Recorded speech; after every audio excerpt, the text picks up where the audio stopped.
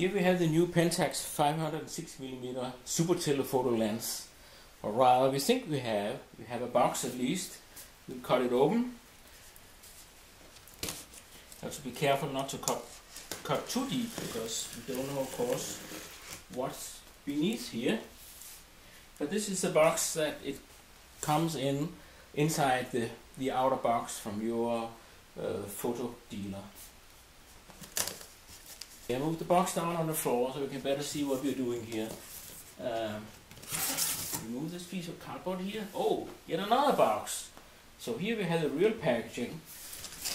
How handy. Pentax has provided a couple of grips here so we can actually get the inner box out from the outer box without damaging it. Here we are. So let's turn that around so we can get to the opening. Remove these handy handles and let's see what we have in the box.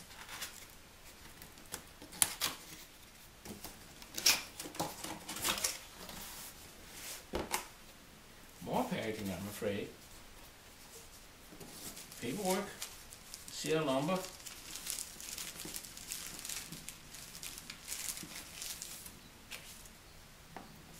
warranty, and one sheet of paper explaining how to use the lens. Operating manual. What more can you ask for for $7,000? Okay, the paperwork is back in its little uh, pouch. Two handy uh, corners have been cut out here, so we know that this is probably where we want to pull, which we do. And what do we find? More packaging material. And more packaging material, probably a lens in here. Let's take it out and see. Here we are.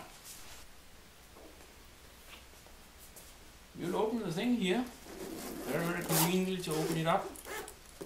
Velcro on the top so it doesn't suddenly fall out. Wonder what you'll find in here. More packaging material. And the lens. Open these straps.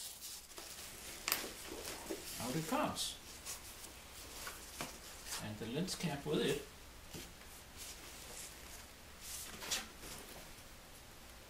So here you go. This last piece is like a pouch. And here we have what we've been waiting for for a long time. The Super Telephoto Lens 460mm f5.6 from Pentax. It's nice, cool to the touch, definitely all metal construction. We can't wait to uh, send it through its paces in our test. Let's take a look at some of the features of this lens. It has a tripod mount, of course, lens uh, this size needs one. You can loosen this screw here and then turn the mount 90 degrees so you can go from vertical to horizontal on your tripod. Here we have the two buttons to control the lens, focus limiter, full and limit, and the autofocus manual focus switch.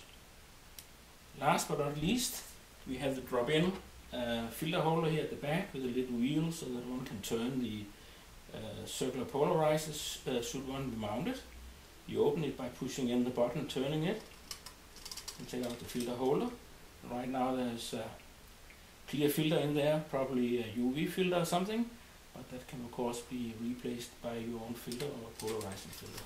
Final thing to take a look at is a lens hood. You uh, turn it and pull it out.